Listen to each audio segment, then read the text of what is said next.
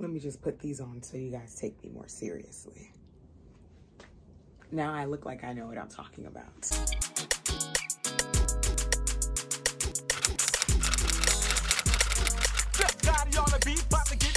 Hey y'all, welcome to or welcome back to my channel. So I'm not gonna waste any time. Let's get straight into it. I got the handy dandy backup phone. Shout out to the Zoes.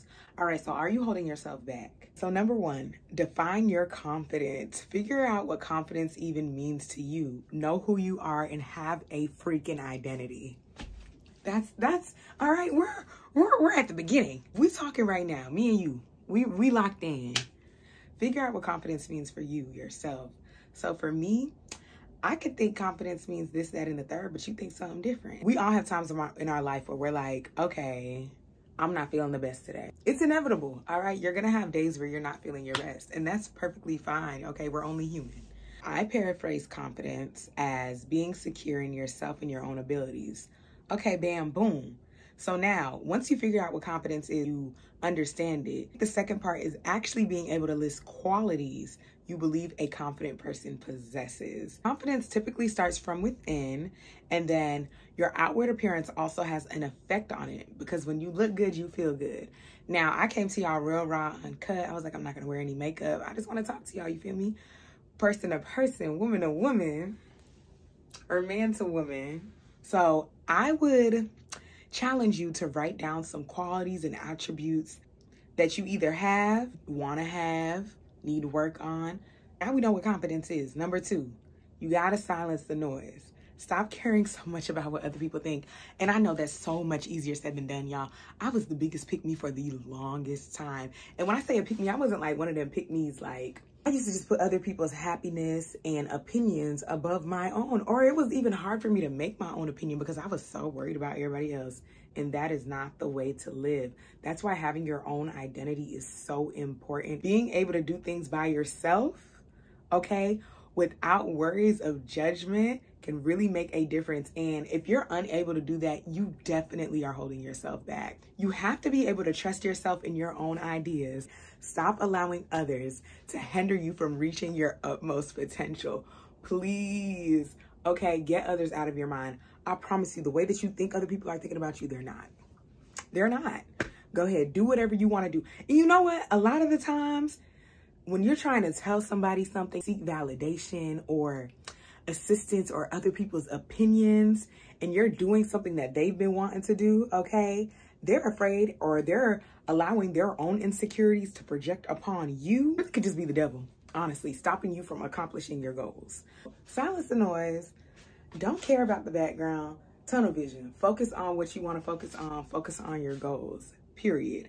All right, so number three, establishing connectedness.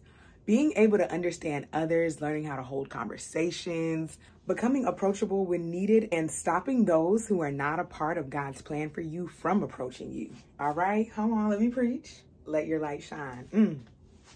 Did I not say a word? No, because for real. Look, making friends is very difficult. Making good friends is very difficult. And it's even more difficult when you lack confidence. So you need to be able to trust that when you walk into a room and execute in terms of speaking, also looking, but in terms of speaking, like being able to like open your mouth and the right thing comes out, you know, when to say a little jokey joke, when to use the bigger words, being able to do that really can make a difference in the way that your confidence is perceived and projected. But at the same time, when I'm telling y'all, talk to people, you know, and don't be afraid. I'm not telling you go up to people and annoy them. No, that's not what we're doing here, okay? Be able to know who you can be around or who you don't like to be around. You need to be able to read a room and also be able to read the people in the room. That that could be a lot to like process, but just uh, catch my drift. See where I'm going with this. All right, so number 4. While we're talking a lot, you know, we're we're able to hold conversations. We're having connectedness with other people, you also need to learn how to watch your mouth. Even better, take back control of your mind, okay? Give it to God, all right? Your mind thinks it before your mouth is even able to say it. Throughout undergrad, I was so bad when it came to talking about myself. I would say the worst things about myself. And it was just, it was so natural. It was an instinct to just downplay myself to just speak negatively about myself. When I tell you I had to pray that off of me, cause uh-uh, cause I literally had other people that would catch it. They would be like, oh my gosh, don't say that. And I'll be like, oh, really gotta catch yourself. The power of life and death lies in the tongue. I'm preaching. I'm preaching, ain't it? It absolutely does. So watch what you say. Before you even say it, watch your mind. Stop the devil before he even thinks it could come out your mouth. You feel me? Yeah. You don't want to talk self-doubt, self-hate. When you're speaking negatively of yourself, as I said, other people used to catch it before I did. Imagine how many people caught it, didn't correct me, and then now think they could play in my face.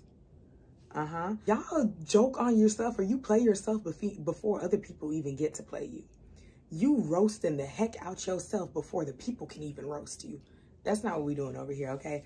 We're exhibiting confidence. Someone that's confident is not talking down on themselves. Once you get that discipline within yourself, others will have no other choice but to do the same.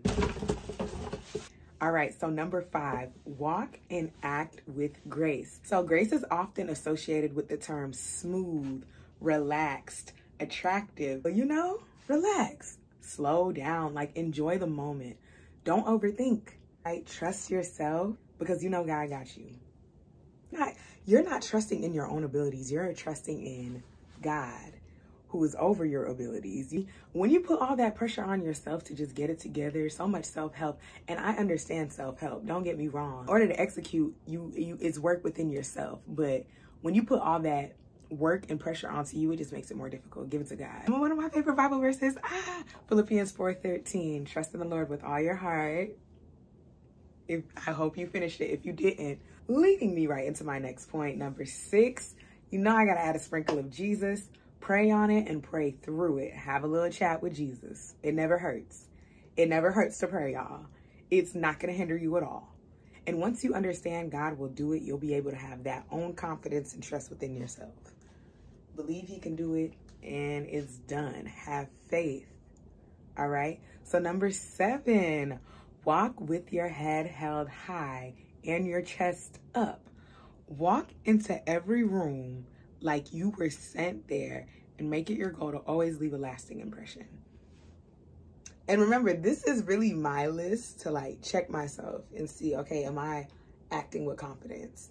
So let me give y'all an example. Let me give y'all an example. Okay, so while you may have it all together, like you can be the baddest chick, okay, on the inside. We can't always tell from the outside. I'm just, I'm just the messenger. Okay, baby, you can have all the, y'all know how people be like, wow, she has so much confidence. Just, matter of fact, people don't even speak. They just look. They just look because they don't know what else to do. I don't want to say an intimidation, but it's something. It's something that kind of just causes people to sit back and think, so how people perceive you can have an effect on your confidence. Once again, can. Everyone is different. Sounds kind of like the opposite of point number two, but I'm talking from the outside looking in and how it can stop you from reaching your max potential, okay? Please put the phone down. Make eye contact, okay? Look look people so in their eye. I'm not telling you to stare people in the face or nothing. Don't make it awkward. I don't know. You have to, you'll figure it out with time, honey. But let me show you guys what I mean. Okay. So for example, so this is one person. Hey, um, all right. That's that's one person walking into the room. Let me, let me show you another person walking into the room. All right, phone to the side. Matter of fact, phone in the purse. All right. Hey, what's up, y'all? How you doing? I don't know if that was a good example, but you get the point. Put the phone down. Everywhere you go, your phone does not need to be in your hand. And then you're glued. Put it, it's an obsession. No, it is an obsession. So you need to chill. Yeah, I'm, I'm just going to leave that there. So number eight, upkeeping your physical appearance. If you can change it, change it. Discipline yourself and be honest with yourself, okay? While you can't control what other people think, you can have some type of control on how you're perceived if you look the part. Think of someone that looks confident to you. All right. Think of someone that looks confident. All right. If you're not picturing yourself, that's okay. While it can be a red flag, I promise it's okay. That just means I see it more as a yellow flag. Like you can see other people and be like, wow, they're confident or good looking. Get back to the picture. Now, think of yourself. as that confident, good looking person. Now, think how often you look like this confident, good looking person. Is it all the time? Is it special occasion? Is it when you have time? Is it if you put a bunch of effort into your look? Da da da da da. When I say this, I'm also speaking to myself, okay? How can we how can we work on this, y'all? How can we work on looking like that good looking person, confident all the time? How can we work on that? Me, me, me, we. We meaning you and me. Matter of fact, do us a favor and comment some more things that we can do to look up to par everywhere we go. Please and thank you. All right, so number nine, learn how to embrace it. Remember, this number eight, I was talking about things you can fix. Number nine, I'm talking about things you really can't fix or just can't fix at the moment, right? You may not have the money. You may not, you may not just be able to fix it like me, I'm tall. It took me a while to embrace my tall, and I'm not even that tall. I'm five nine. It took me a while to be like, I did not, I used to not like being tall. But once I learned how to embrace it, honey, you can't tell me nothing, baby. I'm a stallion. what you may believe is a flaw, I promise you someone else is begging for. So be thankful and grateful. Once you learn to be grateful for everything, even if you don't see it as something to be grateful for, it'll really help you embrace it. Number 10, if all else fails, fake it if you make it. It is, it is what it is, okay? Sometimes you just gotta walk the walk until you're able to talk the talk too. Consistency is key. Build confident habits to the point where it really does become a part of your identity. So with time, as you're walking, behaving like this person that you believe is confident, I promise you, you will begin to become that confident person. Once you start praying to become more confident, you're just gonna see things changing. I'm telling you, like it's it's really crazy. It's really crazy. Yeah, that's it, y'all. I wanted to keep it nice and short. And if you watched this video all the way to this point, which you did, because oh, how you hearing me right now? How you hearing me unless you skip through? What which and why would you do that? Watch this video all the way to the end. It is only right to make sure that you stay in the loop of this series. Go ahead and subscribe. Please leave some comments on other things that you think that we can do as a whole to become more confident. Join me in this journey of becoming our best selves. I promise you'll love it here y'all. Thank you for watching and as always god bless. Period. Peace Keep them busy, got it. Let's go, friends. Space in my heart, but you ain't fit. Got the whole city trying to get